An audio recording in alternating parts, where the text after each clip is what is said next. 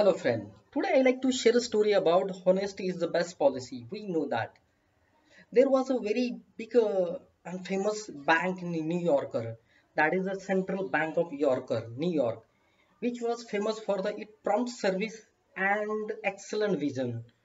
And the bank also give the service to the people with trust and honesty. The bank always says to the people that general public also trusted for the honesty and the good work.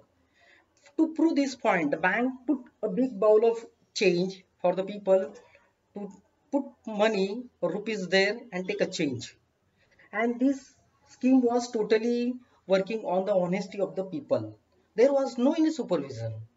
At the first day, end of the day, the bank found that equal balance of the money. The what change was taken by the people. The same amount was found in a form of rupees or penny. So by and large, the people are very honest. It is better to trust the people than mistrust. So my dear friend, honesty is there. We have to change our outlook, a means perception about the people. Definitely they can appear as what we think. Either we think honest to them or dishonest to them. But honesty is there, definitely. Thank you.